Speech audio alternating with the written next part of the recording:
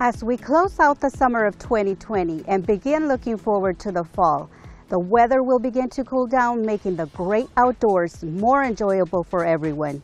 Here at the City of Perris, we continue to bring you new and improved parks for all residents to enjoy. Parks create an atmosphere where families can socialize, get fit, and connect with nature. They make life better and strengthen our community identity. The City of Perris is excited to announce the groundbreaking for the expansion of Morgan Park. Our city strives to design green spaces that promote active lifestyles for residents of all ages.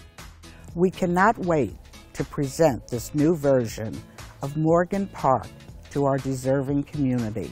The improvements boast a walking trail around the perimeter of the five-acre park, additional lighting, restrooms, additional parking, and a synthetic eco-friendly soccer field made to keep our players nice and cool during play. This is our second artificial turf field in the city. Our community was very involved in designing these improvements, and we are pleased to bring you this expansion. With a growing population and so many young families in our great city, it is important to create open spaces that promote healthy habits. This new park is sure to please our fitness gurus as well as entire family outings. In the near future, we will look to expand parking to the east, construct a turnaround to ease the flow of traffic, and create a connecting road to Ryder Street. These improvements will make our neighborhood safer and will redesign the area to relieve traffic for nearby schools.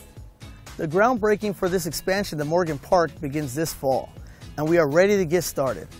The park is in the northern area of Perris by May Ranch Elementary School near Morgan Street and Evans Road Morgan Park also has immediate access to cycle, run, or walk on the Perris Valley Trail.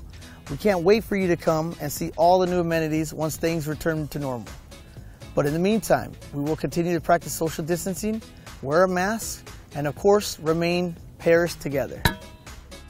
And now for the virtual groundbreaking